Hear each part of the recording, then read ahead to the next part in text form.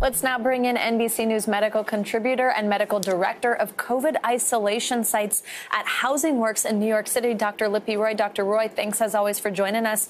So let's hear from you and a medical perspective about this idea of states and the federal government teaming up with big businesses to help with the vaccine rollout. We, of course, saw this with UPS and FedEx just in getting the vaccine out, but now these more interesting ones Starbucks, Microsoft, Amazon. What do you think about that? How will that help? Yeah, good morning, Savannah. Great question. Um, look, the reality is that mass vaccination campaigns and public health campaigns in general have always relied on successful uh, public and private partnerships. The, the government simply cannot do this all by itself.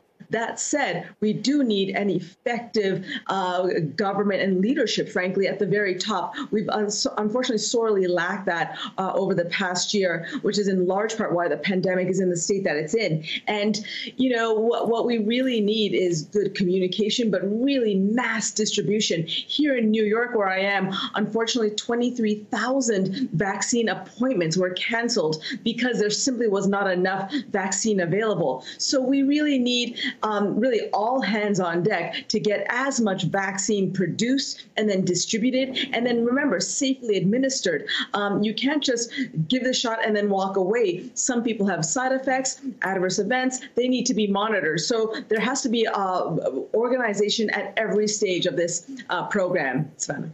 And Dr. Roy, some states are reporting that they're running out of vaccines. We're seeing a lot of this, these appointments being canceled because there's just not a dose to administer to the patient. What do you think of the Biden administration's plans to use the Defense Production Act to boost vaccine supply?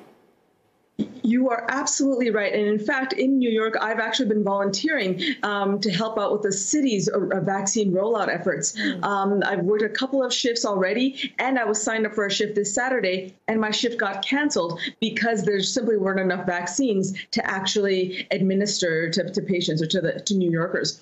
Uh, and I'm, i assure you, this is happening uh, throughout the country. The w- public health advocates and medical health uh, professionals have been urging the federal government to activate the DPA, the Defense Production Act, since last year to produce uh, PPE testing. Um, so, yes, absolutely, I'm all in support of the DPA being activated to assist with vaccination uh, rollout.